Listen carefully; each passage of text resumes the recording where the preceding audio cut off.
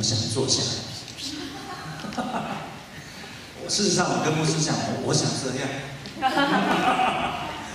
好，呃，我很敬佩各位哈。呃，这两天早上，我的分享的时间应该是一个小时，后来不知道怎么样变成了一个半小时。然后第二段时间好像应该是四十分钟，后来变成一个半小时。我也不晓得为什么会发展成这个样子。那我非常感谢各位很专注。呃，即使有睡过去的，后来也都醒过来。被发现。有头有尾啊，哎，这不容易。呃，再来就是我蛮钦佩大家，在写这个难题的时候，跟牧师分了一部分的难题过来。啊，主要就是生活领域的难题，啊，情感方面的，我试着来回答。那牧师手上比较多是跟圣经信仰有关的部分，啊，我不确定我可以达到所有的。呃，牧师很重用我啊，我是担心说，我一整天从早上到下午都是我，会不会觉得看你脸孔都看腻了？不会。感谢你们，让我精神好起来一点。好，这边有提到两个家庭背景不同。时常因为价值观不同，哦，你看到了吧？价值观不同而以不同对方所呃而不认同对方所说的。比如说，我告诉你，这是真实的。有一个家庭，他们晚餐吃完饭之后，冰箱最好是空的。你听过这种事情？另外一个家庭，冰箱要给他塞满。就两个人结婚，请问冰箱现在该怎么办？一半开，一半我告诉你，最好买两个冰箱，一个是空的，一个是满的。哎，这个是生活中的一个小小的部分哦。那你不要说是两个人价值观不同而已，其实生活习惯不同也会。那我再问清楚一点，你家拖不拖地板？来拖地板的请举手。好，说得好，每天拖的请举手。哎，看着看着，这不要放下，不要放下。来，请问每天是谁在拖？是你拖吗？啊，妈妈啊，这有合作，这个是全然享受啊，算你幸福。不过你会习惯哦。假设这个我们这个大哥啊。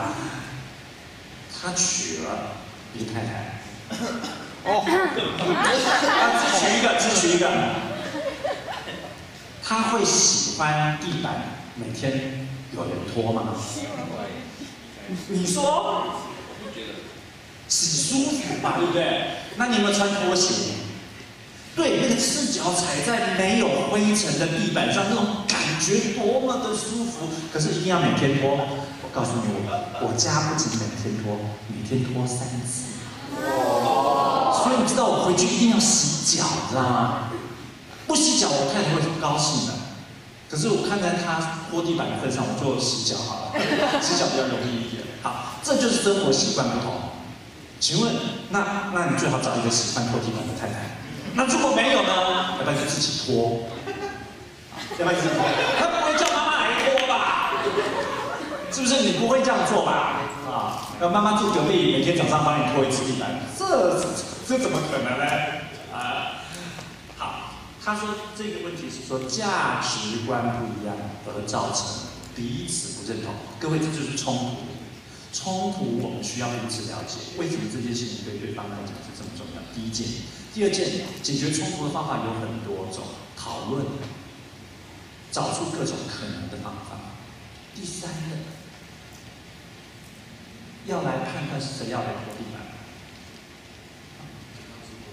剪刀石头布是一个方法。我告诉你，这只是结婚之后要解决的其中一个问题。请问生小孩要生几个？哎，想要生一个请举手。哎，都没有啊。生两个请举手。好，四个。哎，你们自己彼此看看，喜欢生两个的哈。想要生三个的请举手。哎，举高点，举高点，好，很有勇气。想要生四个，请举手。九个，超过，超过，超过五个，五个以上的请举手。好，各位，升喜要不要事先讨论？还是结婚以后再讨论？一个要是一不生，那怎么办？小心升好，来，呃，这个，呃，倒垃圾谁要去倒？呃，浴室谁要刷？啊，认为浴室应该太太刷的，请举手。呃，认为浴室。他是诚实的弟兄啊，对。好，呃，认为这个浴室厕所马桶我要来刷的，请举手。自己来刷的。哎呀，都看。哎，你们这些人，大家哎，不错不错啊，大家哎，各位，你们刚刚没举手是说马桶都要别人刷，是不是？剪刀石头布刷。哎，每天剪刀石头布，一三五二四六。一一好，这是家事的预备啊！家事到底谁要做？你把它算下来，家事上百种。到底谁做？以前真的是爸爸妈妈做的都没有感觉。如果太太做了晚餐，谁要洗碗？自己洗自己的，请举手。那那那个汤锅要谁洗？汤的锅子谁洗？洗饭。好特别。所以你们可以猜想啊，这个结婚之后有很多细节，而且每一件都是实枪实弹的，你必须有准备。你们的价值观越接近越好，了解吗？越接近越好。如果不接近，都要处理这个小小的冲突。所以，在这个价值观越接近越好的这个前提下，你的信仰如果不一样。信仰代表不同的价值观。你的钱要怎么用？你的时间要怎么用？你孩子要带去哪里？这代表不同的价值观。如果价值观不同的话，你会衍生出很多意想不到的苦恼。所以这边的问题是，啊，就是家庭背景不同，啊，价值观不同，不能认同对方说的，所以有时候会吵起架来，最后不了了之。然后他接下来的问题是，有时候觉得这感这这段感情还能走多久？他不是很确定，该怎么解决？好，去婚姻辅导。婚姻辅导有三个结果：第一，顺利走过红毯；第二，再慢一点，慢半年、慢一年，直到功课学会；第三，请分手。哎，没想过啊，婚姻辅导最后教他请分手。那为什么？因为现在分手比后来分手好，了解吗？这叫停损点。你看着股票一直在降，一直在降，你总要有一个时间，好了好了，赔到这里就好了，认赔。那你的感情关系是不是也有一个停损点？不要让它一直下去嘛，停在那个地方，啊，那是停损点。当然你不愿意做这个决定，但是有可能需要。所以啊，如果他在停损点的时候，他已经发生性关系了，那怎么办？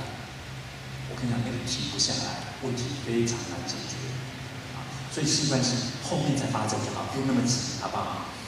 嗯，他问我该怎么解决，那我建议第一件事情，学会解决冲突，学会解决冲突。那学会解解决冲突，其中一个部分就是要道歉啊，啊，就是要认错，这是一个部分，不是所有部分。第二部分要说明你的感受，对方要聆听。那这需要练习，有时候还没练习就马上进入冲突，就吵起来了。吵架需要有步骤。那啊，有一些婚姻要接受辅导的人，他们会这样子的做一个练习。女士、小姐很生气。他就开始抱怨，让男士全部担任听的角色。女生讲完之后，男生就替他做摘要 （summary）。summary 之后，问这个女士说：“我这样 summary 对不对？”确认你们谈的事情是一样的事。接下来要什么？男士在问他，那还有没有什么要说的？还要说一下啊，说一下，在 summarize。啊，还有什么要说的？哎，告诉你，这样有时候进行三十分钟都是女方在讲。啊，太多的口水，因为平常吵架一吵完就，就是男生不理他，然后后来就不见面，然后过三天又好了。可是事实上问题没解决，所以在一爆的时候，第二次爆就比第一次爆更厉害，因为这叫新仇旧恨全部一涌而出。所以这是伤害关系的事情，他一定要学会怎么样把啊这个女方呃呃觉得困难的。那些经验，觉得伤心的经验听清楚，所以他的这个摘要及摘要对方所说的话的这一个动作，是要帮助男生先听清楚对方说什么，同时也让女生知道男生听懂了。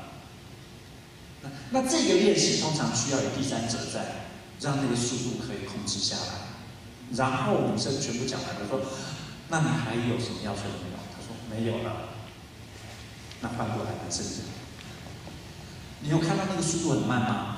男生讲完之后，女生做摘要，摘要之后，女生要问，那你还有什么要讲的？再讲一个，再讲一个，这样把心里面所有好几层的苦恼慢慢说明。你们可以自己做练习，但是不太容易啊，有第三者在旁边帮忙会更好。好，这个问题我先停在这里。有没有任何人想要追问这个问题的？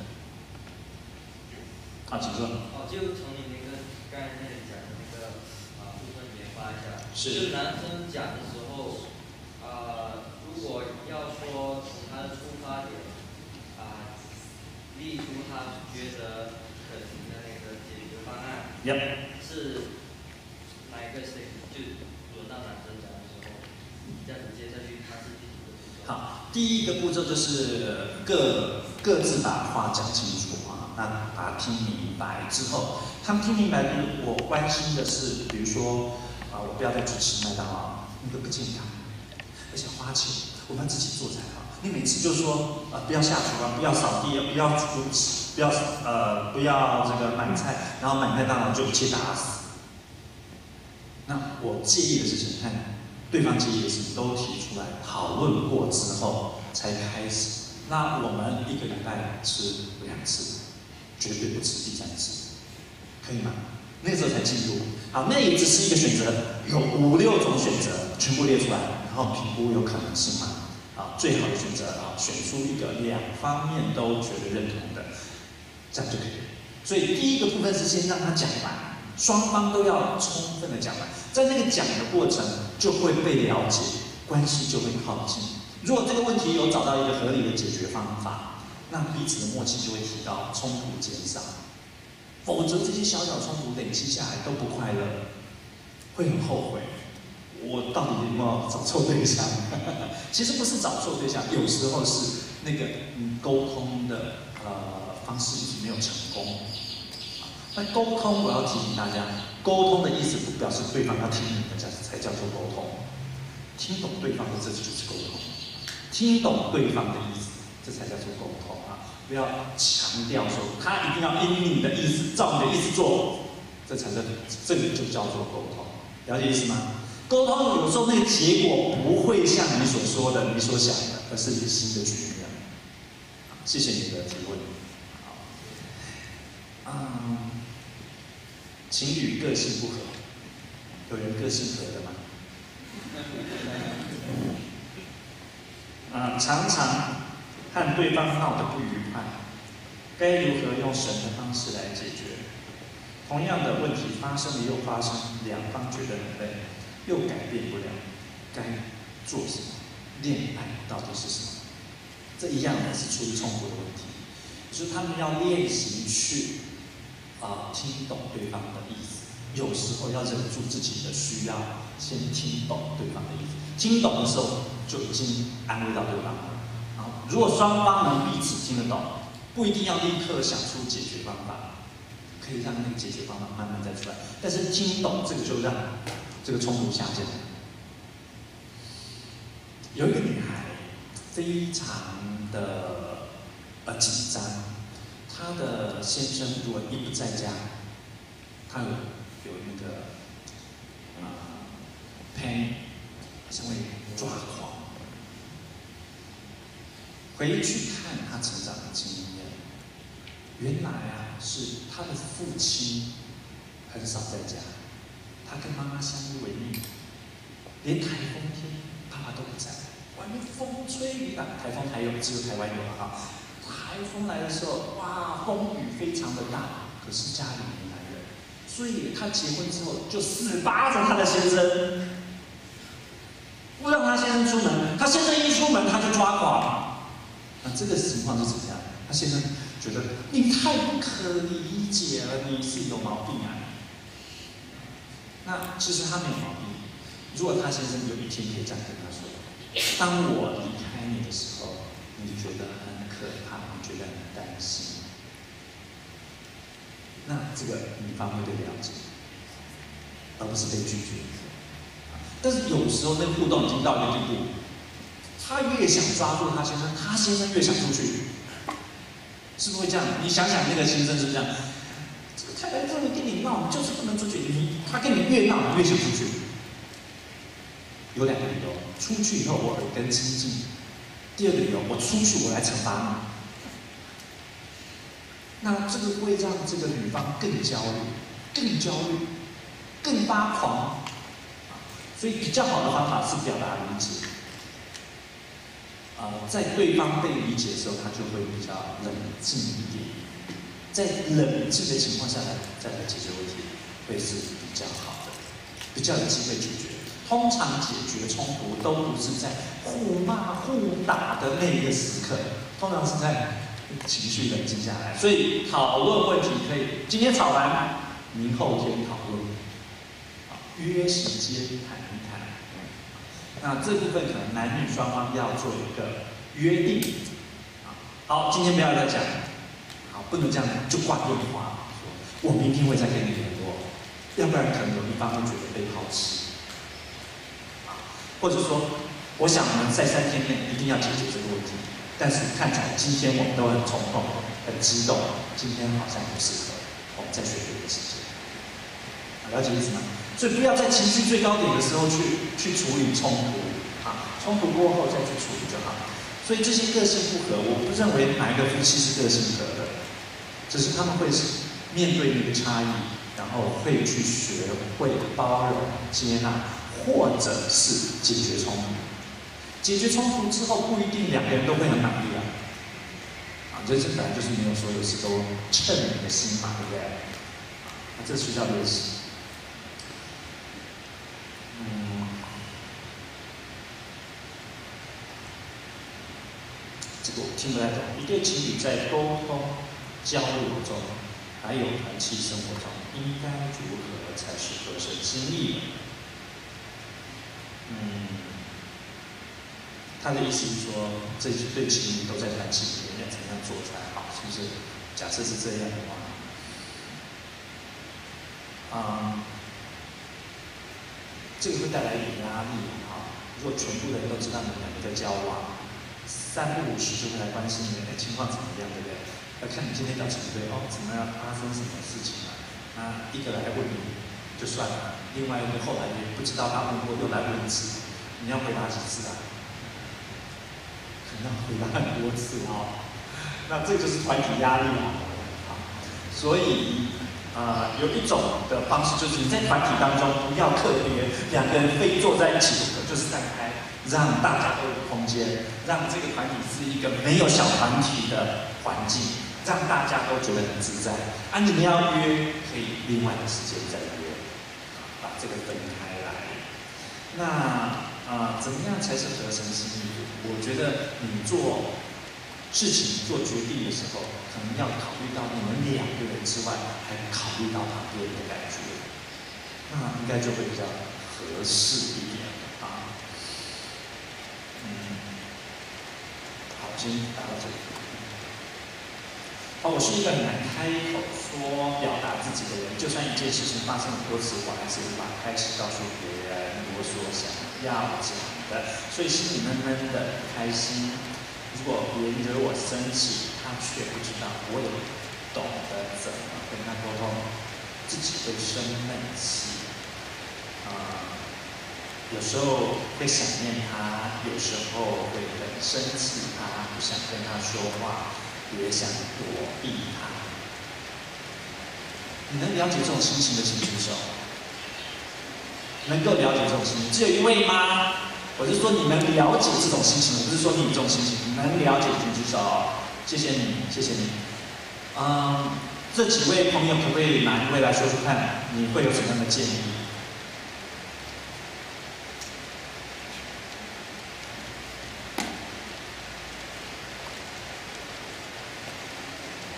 有些人完全不能了解这种心情吗？站起来，我以为你要讲话。我以为你是我的救星哎。好，那我啊有吗？有人问是是是问谁不能了解这个心情是吗？啊，就是这个女孩或者是这个男孩，就是很难把自己的心情讲出来，所以闷闷的，别人得罪他，他也没讲；一直得罪，一直得罪，他也讲不出来，他就会生气对方，然后躲着对方，或者是有时候会想对方。这种人怎么办？不知道，上次我有这样。你绝对不是这种人。是。没有想念他。说题目。好，我我就我简单的回答，我猜测哈，这种啊把心情放在心里的这种生活的方式，不是后来才长出来的，是一直以来都这样。啊，第二个，我猜，啊，他的环境没有一个很快接纳他的感觉的环境，所以他就不会讲。那什么叫做没有被接纳的环境？就是，也许这个家庭冲突很厉害，所以最好是把感觉藏起来。这个家庭冲突很厉害，没有人在意你感觉是什么，所以你把感觉收起。他后来长大了，离开这个家庭，感情收起来这件事情已经习惯了。你跟任何人相处的时候，就是感觉会收起来，所有的感受不管好坏都放在心中。这样的人需要一个安全的环境，有时候是一个朋友，有时候是一群朋友，让他把他的愤怒讲清楚。然后，如果他要跟某人交往，对方一定要敏感，协助这个有困难讲出感觉的人，让他慢慢说出感觉。如果不练习这件事情，他日子过得很苦。不要说他与亲密的这个爱人、恋人相处很苦，他去任何地方工作，他的感觉也是压在这里。他的同事占他便宜，他也不会说出来。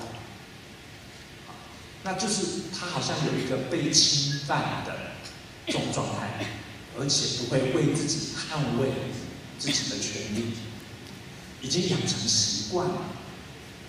我猜测他在家里面也没人好好听他说话。如果我们这样想的话，所以怎么样？团契当中可以做什么事？注意听每一个人。说的话，专注的听，就有人会觉得被尊重。那呃，如果你是他的朋友的话，呃，鼓励他把感觉说出来。当然，我要对呃有这样苦恼的人说，试试看，找一个你认为安全的人，说出你的感觉，要冒一点险，做一些跟你过去习惯不一样的实验和尝试。各位，当他做实验和尝试的时候，请你不要嘲笑他，因为他是这辈子可能是第一次冒险。那你就嘲笑他，他马上退缩回去，不知道多久才会出来。所以，请你珍惜每个人跟你吐露心声。也许你觉得啊，这个事情有什么好保密的？可是对他来讲，那是他的一大步。每个人的开放的程度不一样，有些人要慢慢学会开放，再多一点点，多一点点。他需要在安全的环境。好，好，先回答到这。嗯，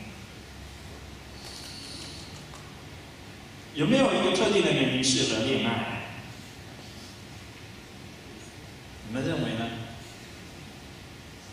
我我觉得年龄来说明啊是一个考虑，另外一个说明叫做心理承受度。啊，也有人这个呃十三岁、十五岁就很成熟，但是不是很多了哈。但是他那个时候就很成熟，很负责，而且能自我约束，不会占人家的便宜，而且很尊重对方啊。那这种情况其实也是可以交往，但是大部分的发展。呃，我看大一的学生到大四，他们有很大的转变。呃，现在读大学的请举手吧，现在还在读的，包括大学以上的，一起。好情况下，你回想你读的这几年，你自己的人格、心态，或者是呃呃关系上有没有有没有转变？有哈。那你再去看那个大一进来的菜菜土土的那些啊学弟妹，那你再想想你那个大四的学长姐，其实那些大四学长们看起来风度翩翩啊，婀娜多姿啊，穿着也很好看，这四年当中有没有改变？有，我在台湾我看是明显改变。啊，那你说你在他大一的时候马上下手比较好，还是大四的时候再下手比较好？哎，我知道该怎么说哎，我会建议他慢一点，因为这一段的改变太大了。你认识的是他的大一，你不知道他的大四，这段的改变有可能很大，所以我认为你应该做朋友，维持长一点时间，在你彼此更多了解，人生方向接近，而且你的价值观接近的时候，再更深入的交往，这是我的看法。所以有没有年龄限制啊？年龄合适啊？呃，高中的时候，我想大部分的家长都不会同意，觉得浪费你的时间。你还有一件重要的事情，那你如果能猴急的话，你就可以高中开始。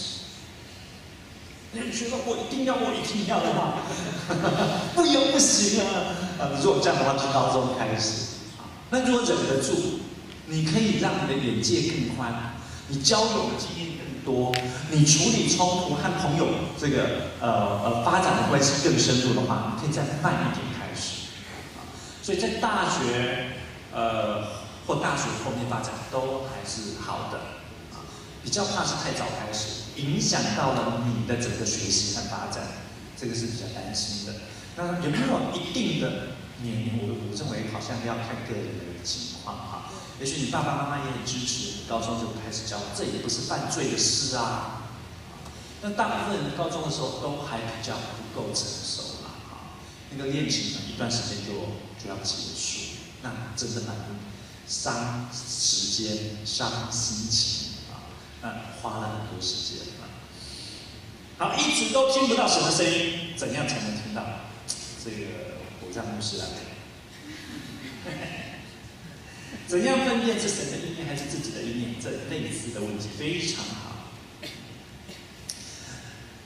啊，你如果是一个基督徒，但是你后来发现你是天生的 gay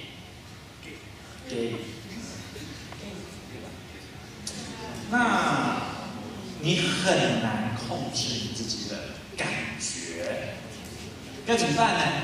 这话好像蛮敏感的哈。我我可不可以谈一下啊？这 gay 是不是天生的？很难说。我告诉你，美国的研究有一批全部在做同性恋是天生的，他们还没做研究之前就有这个结论，他们想去证明这件事，为什么？他们证明这不是我的问题。所以同性恋在一九七四年。美国就把它从精神诊断的手册拔掉，同性恋不是问题，它不是精神病。OK，此后同性恋的运动在美国非常强，他们也操纵了政治，甚至也操纵了学术。所以学术来的证据说同性恋是天生的这件事情。的呼声很大，那事实上，啊，假设有十个同性恋，有几个是天生的，还是全部都是天生？这值得讨论一下，是不是？那好了，统计上十个有一个，或十个有九个是天生的同性恋。那其他的呢？接下来要问的是，那你属于哪一种？你是天生的还是后天的？哎，这个很复杂，对不对？我不应该太快或太轻易的回答这个问题，但这个问题的确是蛮困扰的。假设性别认同大概是在五岁到六岁完成，五岁到六岁的孩男孩子喜欢穿裙子，而且觉得自己是女生，那就发展很早哦。那即使是这样，你就说他是天生的吗？也许还有一些家庭因素哦，比如说他爸爸不在家，主要是妈妈掌权，类似这个。我也不能说所有同性恋都是这样子的哈，我没有这个意思。啊，有一个难题在这里，如果是天生的，其实他没有选择。那如果不是天生的呢？他有没有选择？我告诉你，选择也不太大，因为那个性别的发展就往那边去了，很困难嘞。你要讲他完全不位置，不容易啊。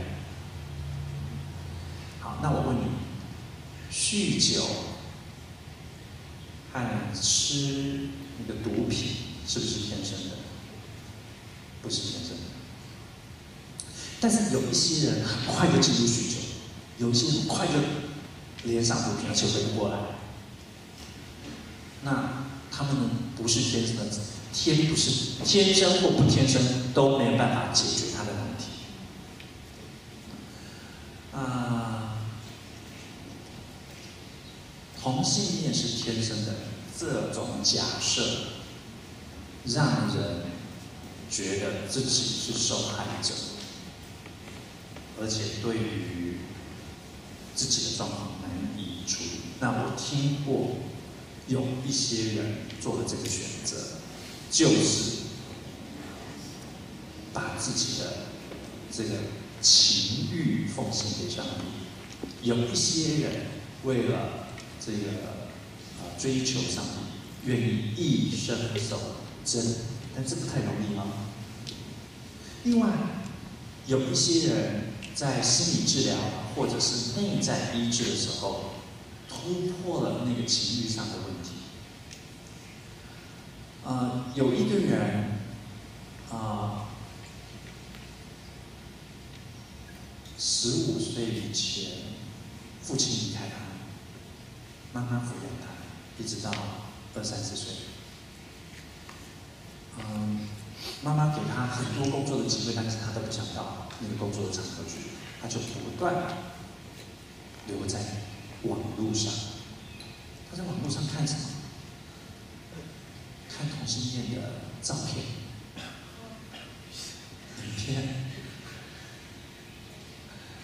换到教会去，教会提到这是一个罪，就他回去痛哭，他很想脱离同性恋，但是无法脱离。我真的认为这是一件痛苦的事。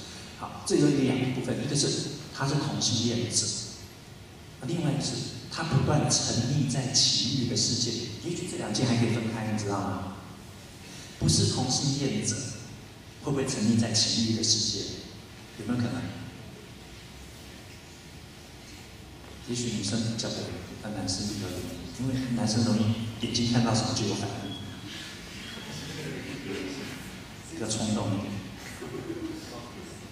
所以现在网络的世界这么的开放，不小心不是你去点，它会跑出来。啊，对，啵啵啵啵。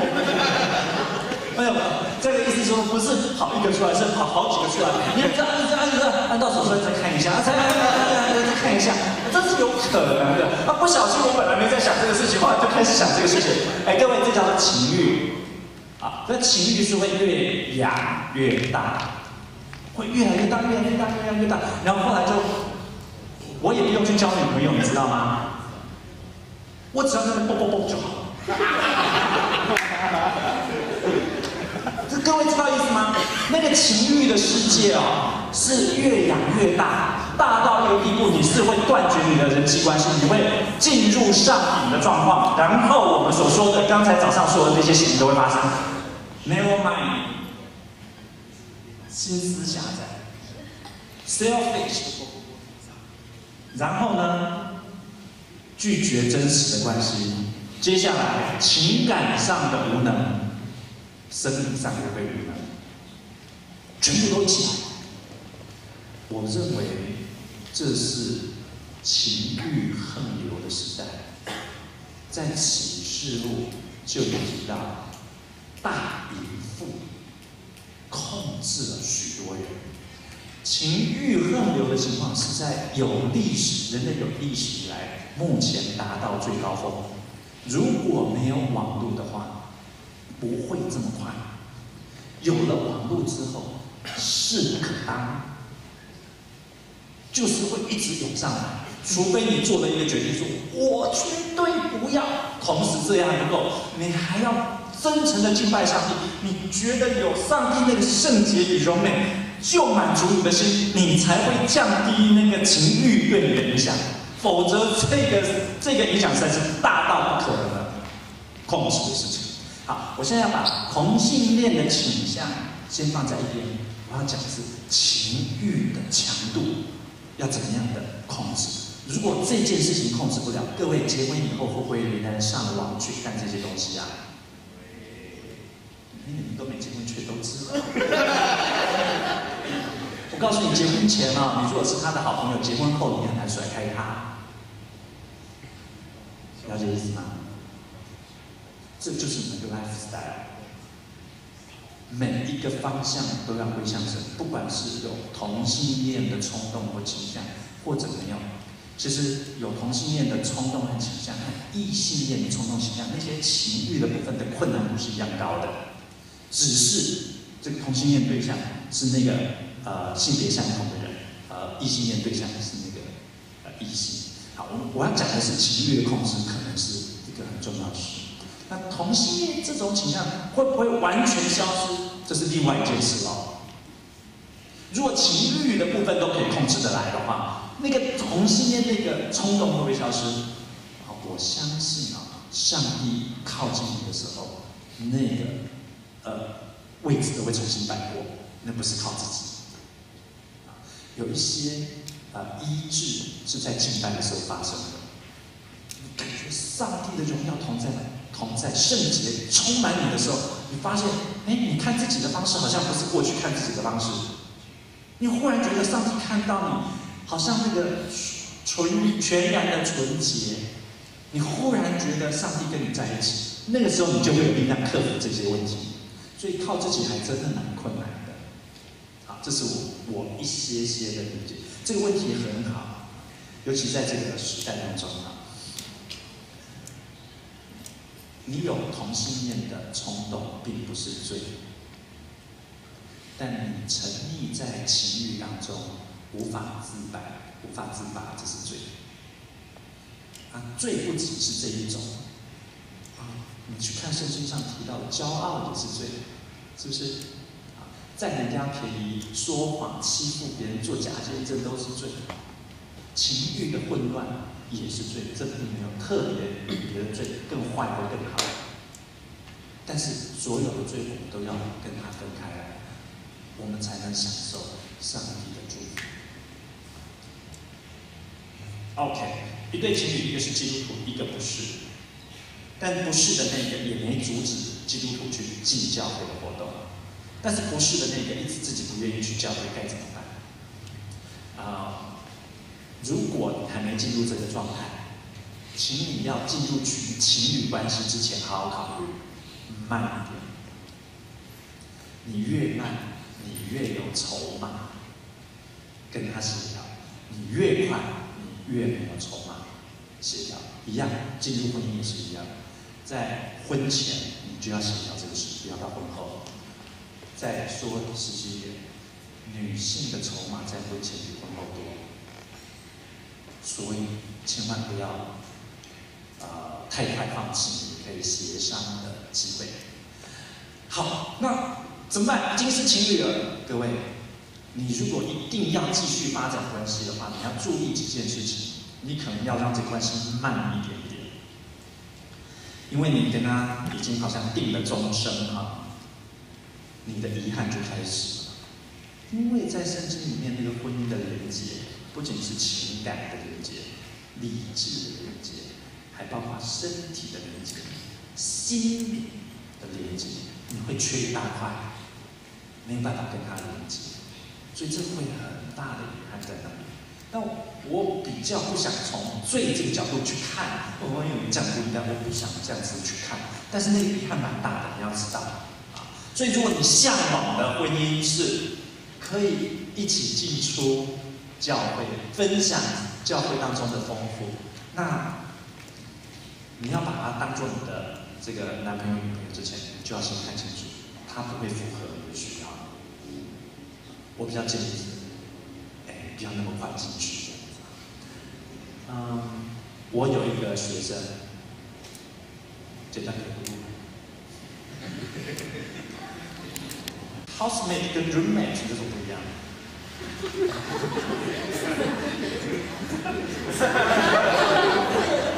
怎么样啊？这是我第一次看到 housemate，是同一个房子里面不同房间的意思吗？roommate 是同一个房间啊。好，呃，住在一起，这个算不算同一个屋檐下？算不算同居？我应该搬走吗？啊，鼓励他搬走的请举手。我们现在不知道谁啊，我们也不要去找是谁啊。鼓励他搬走请举手。哎，举高一点啦！举高一点。好，一二三四五六，好。鼓励他住下去请举手。好，请放下。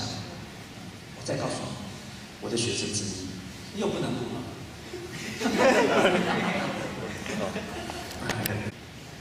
这是另外一个考虑，是不是？嗯，没关系啊，就哦，开放啊。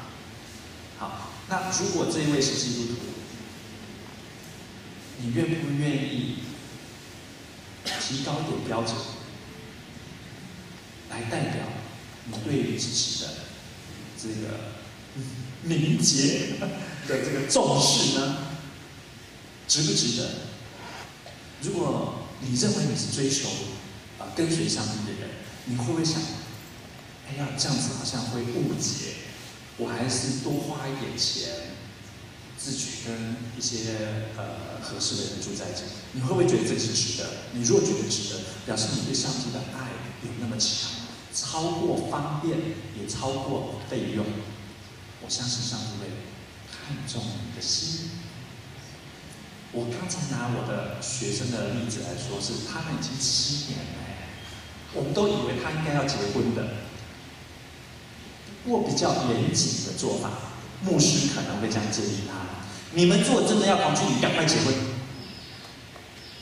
啊，你说下不了结婚的这个决定，表示你们还没准备好，就不要同居。请多花一点钱分开住。至于需要需要照顾的这些事情，还有别的方法解决。最受不了就是他过了七八年之后，他们分手。那一段的日子，他怎么样回想？他如何回想？我尽量不要想。他现在交往一个新的男朋友。你的过去的历史你是改不了的，是不是？好，啊我在谈一个没人谈的问题，叫堕胎。在台湾有一个生意非常兴隆，就是替那个过世的小 baby 招魂。有没有听过这个事情？呃，叫做婴儿的婴，灵魂的灵，婴灵。哦，当当当当当当当当当当，你们安息吧，不要来找你妈。这样子，类似这种的事情嘛，啊。那为什么会有这种生意非常兴隆？因为有很多年轻的女孩子啊，选择自然流产，其实一点都不自然，人工流产。人工流产之后，我告诉你，有一个人工流产的人这么说：人工流产三年之后，他看见路上的小孩三岁，我如果没有把他拿掉的话，他就这么大。看那三岁的孩子亮亮的眼睛，这妈妈眼泪就流下来。他还应该在，是不决定不要他，所以心里面非常的煎熬。四岁的时候，十岁的时候，他真的结婚，后来有孩子，他心里面有一个隐隐的痛。去参加人家孩子的大学毕业典礼，如果我当年没有把他拿掉的话，现在大学，到他要进棺材之前，都记得这个事，很伤痛。我姑且不要从道德或者是圣经的角度来看。这是一个妈妈的心声，我觉得值得我们再思。这件事情总有比较好的解决，有几种可能，就是生下来送给人领养哈，这个痛苦比较少。但是你只会想他。第二就是避孕啊，不要发生怀孕的事情，因为避来避去，美国就是校园怀孕的事情太多，所以他们做的一个策略是什么？在校园里面放。卫生套，让每一个人都可以拿到。结果呢，怀孕的情况有增无减。所以有一个是约束自己的情欲，这才是合适的方法。这个可以放放在一个选项当中吗？可以，可以放成一个选项。啊，这个选项可能是比较好的选项，因为没有任何人会受伤，只有约束自制的能力。housemate。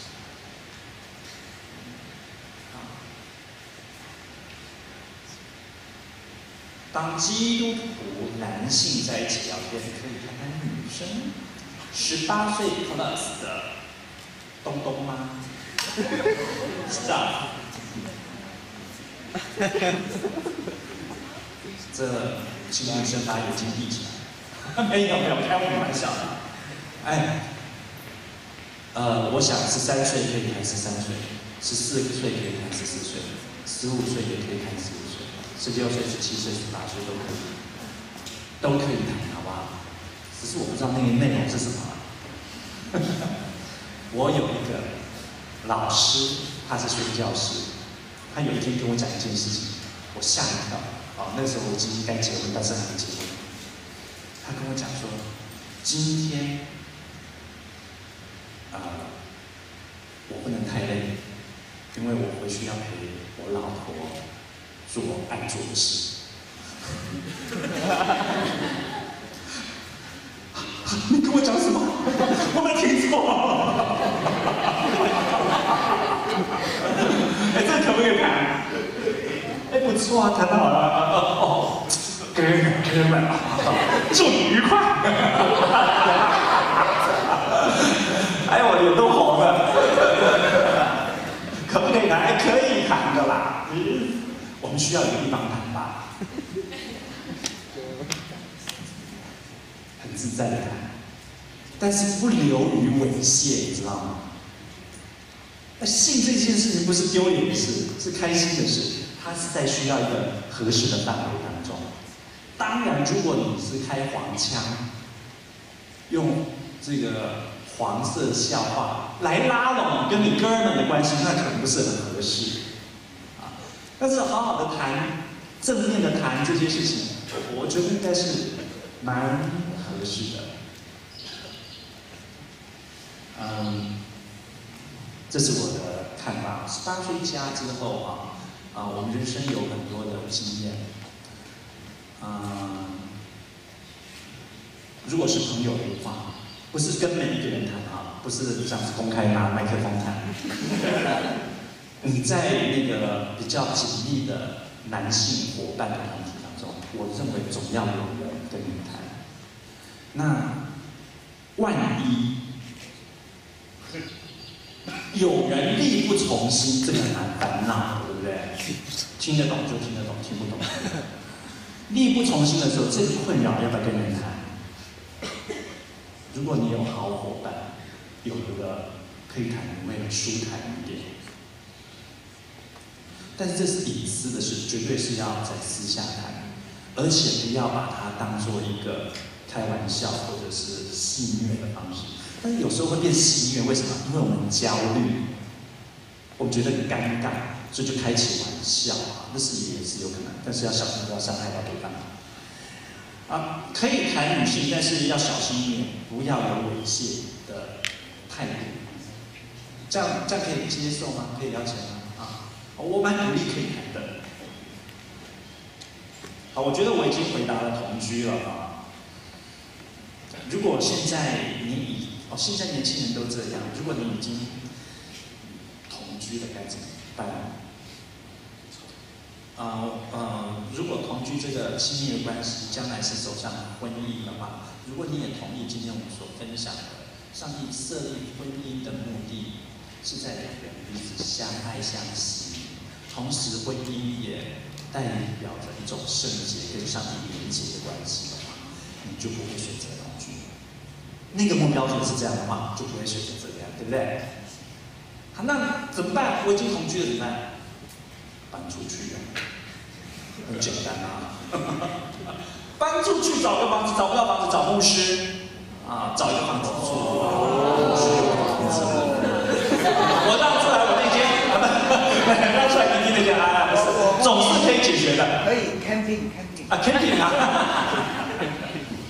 好，嗯，需要付出代价，跟随耶稣需要付出代价，值得。嗯，约翰一书说不要爱这个世界，不要爱这个世界的意思说，不要跟这个世界的潮流一模一样，而失去了分辨的标准，要爱上帝。如果你爱世界、爱上帝的心就不简单。所以你在这两个当中，你要去做选择，这也是基督徒在现代社会当中的一个难题。你的选择可能会跟这个世界不一样，你需要有勇气。同时，你要知道你这样做的理由和价值，这是向上帝的回声。好，远距离的爱会有结果吗？没有标准答案。啊，如果你在远距离，啊，一定会成功的。你是远距离吗？之前，之前，你可不可以跟我们简要说一下，怎么样才能发展到现在，而且没有放弃？靠着主的力量祷告，然后常常联系，什么情况需要靠主的力量？很难吗？呃，会有，因为他需要帮助的时候，我没有在他身边。哦，我听到是你的遗憾啊。就是很想帮忙，可是帮不上。那一定要常常联系。他跟你分开之前，你们有相聚的时光吗？在一起的时间？有几年了，多久了？好好，这位弟兄所说的那个远距是。已经在一起一段时间，后来分开。那这个跟在网络上认识对方，那是完全不一样哦。啊，所以他的那个起点是不一样的。啊，他们已经有一些直接面对面的相处经验，才分开的，对不对？这种成功几率高一点，但是失败几率也是有可能的。因为分开之后，我都没有看到你，然后我也需要别人跟我聊聊天，那旁边就有另外一位，而且蛮合得来，那你可能就会被打败。不会啊，你的心情。好，远距的恋情的确有难题，但不是说绝对不能成功。那你的交谈的深度要更深。那有一种情况是你们吵不到架，所以你们练习修复关系的机会可能比别人少。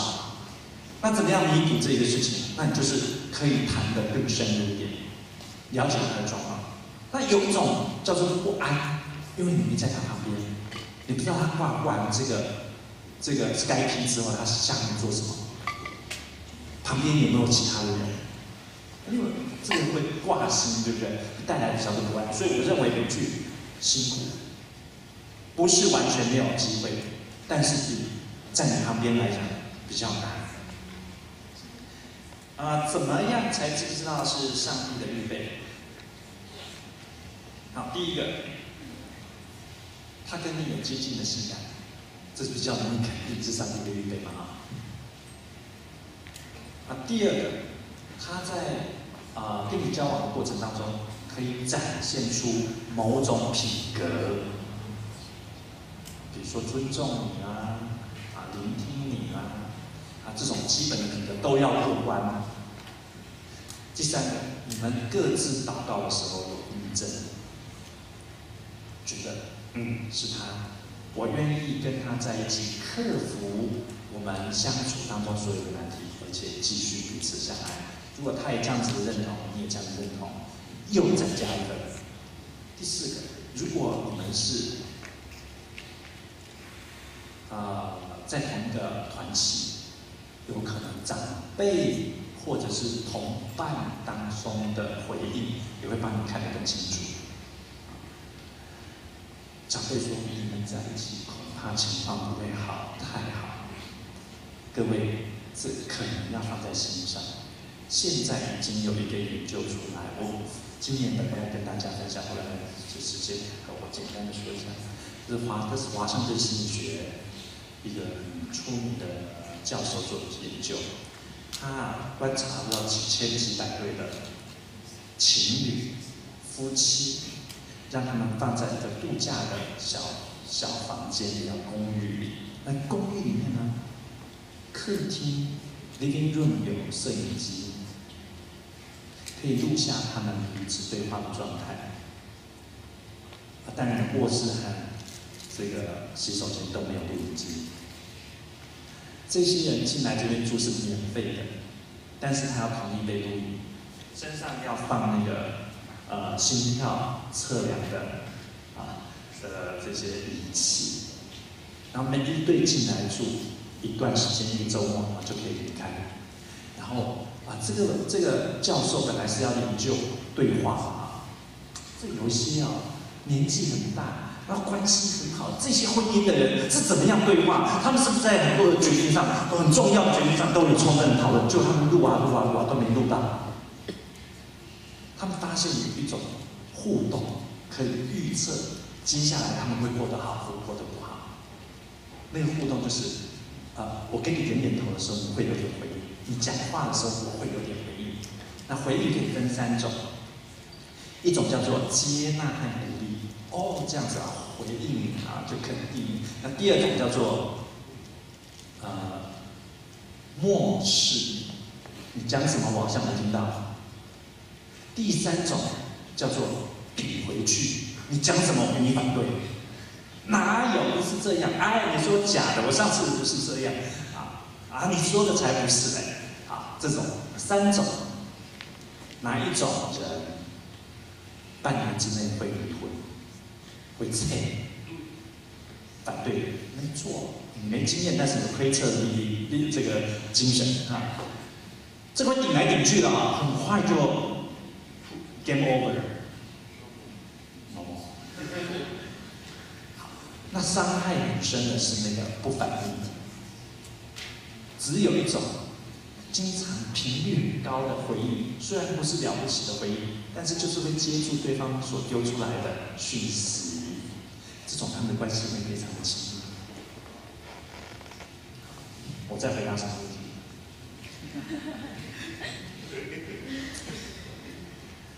我再回答一个问题，就是旁边别人的直有时候你可以参考一下。别人预测你们两个人可能会遇到问题，就要把问题克服掉，否则那个问题会来找你，并不会过得更好。啊，那有些长辈会看得清楚，说你跟他的交往有点什么样的困难，除非能克服，要不然暂缓会更好。那我觉得，如果你要问这个人是不是我理想的伴侣，刚才我说几个原则，第一个，的信仰是不是步调接近？第二个啊，你们的。啊，兴趣或者是友谊能不能建立？再来，旁边周围的人给你的回馈是加分还是减分？这都可以有一些帮忙，你就比较能够确定是不是上帝预备的。好，我觉得我好像回答错问题。这个问题哈，更完整的说是：如果另外一半不是基督徒，我该怎么办？怎么知道是不是上帝预备的？你的意思是说，上帝预备一个不是基督徒来折磨你吗？那如果他已经不是基督徒了，他跟你的信仰不一样。我不要从基督信仰的这个角度来看，我只是从心理学来看，你的信仰不同，哎，难题增加，啊，是扣分不是加分这样子。啊，那如果从呃呃基督信仰的角度来看，那你希望上帝所说的那个婚姻关系是呃理性的、情感的、心灵的以及身体的联合？如果你认同婚姻是这个追求的目标的话，那非信仰信仰不同的人在一起，他就会有很多块都切掉，没有办法融在一起。了解意思吗？啊，不管你是不是基督徒啊，那你如果两个都是一贯道，或者说一个是一贯道，一个是佛教，一个是贯道，一个是回教，这种困难都会存在的，这是普遍讲的，就是这样。所以如果你是基督徒，另外一半不是，这个困难并不会因为你是基督徒突然就不见了。这是一个常态，这是一个现实。所以，如果你的另外一半不是基督徒，我我目前来讲，好像只有祷告，而且你要考虑一下，你是不是要真的走进去。啊，我教会有一对夫妻，后来就是爸爸来，妈妈不来，然后小孩看到爸爸妈妈的冲突，后来通通不来。那因为爸爸很冲，妈妈也很冲。后来小孩老三要读高中的时候，就跟教官冲，教官很生气，要记他过，然后他就去找校长，跟校长冲。接下来就不用上学了，学校请他走人。妈妈好紧张，可是这个问题你可以看怎么样来的。第一个是爸爸冲，第二个是妈妈冲。那两个一起去冲小孩，小孩就对别人冲，这是连在一起的。他们家庭的互动基本上就是在这个冲来冲去的方式。这个模式是没有改变的话，这个孩子日子不会太好过。那如果他们愿意一起学习的话，我觉得机会很多。好，我目前讲的差不多，我的时间到了吗？到了，OK 好。有几题，我想我就留给牧师。我很诚恳的呃为你们所写上的这些题目，你们的认真的态度向你们致敬。啊，能认真的思考这些人生问题真不容易，而你们做到了。那我们今天的解答可能没有讲得很完整。今天我还会再跟牧师在这里游荡，如果找到我很想跟我们聊，啊，应该也还有机会啊。不过要给我一杯水。给我一杯水，你会得赏赐。好，我很感谢你们，我们一起祷告。天父，你看到我们当中的一位，他们所挂心的事，啊有一些是我好像没有办法帮上忙。就算是有好的答案，也不一定能立刻让他卸下重担。主耶稣，的怜悯在我们当中，求你触摸我们每一个遇到困难的孩子。你珍惜我们，你要把真的幸福和爱放在我们的里面。我们也要啊学习按照你的真理而行，因为你的真理是对我们的保护。主啊，一切无法解答，主啊，你亲自来。主啊，你让我们在接下来的日子能够发现那个方向。主啊，那个更大的难题，我们也要交在你的手中。主，无论是什么？难题，我们。相信你可以，你可以为我们打开一个解答的门，主触摸我们，继续牵引我们。你不仅是我们父母亲的父，你也是我们这一代人的主。把我们的一生以及接下来的一会时间都交在你手中，奉耶稣基督的名祷告，阿门。